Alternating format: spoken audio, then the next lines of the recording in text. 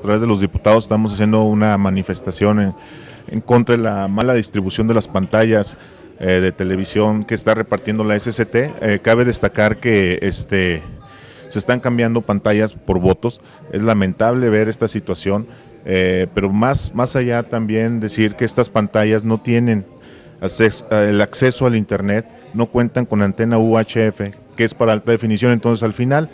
las pantallas, lo que se está haciendo por parte del gobierno federal, este, se le está dando un sesgo político que no, no debe ser. Yo creo que en función de esto el PAN pone una, una página para las denuncias ciudadanas en el sentido de que eh, viene la, página es eh, voto por, por tele.mx para que ahí hagan los ciudadanos eh, las denuncias y en función de eso eh, poder cambiar un poquito este, en este sentido. En municipios en Michoacán donde hay elecciones eh, importantes de Estado,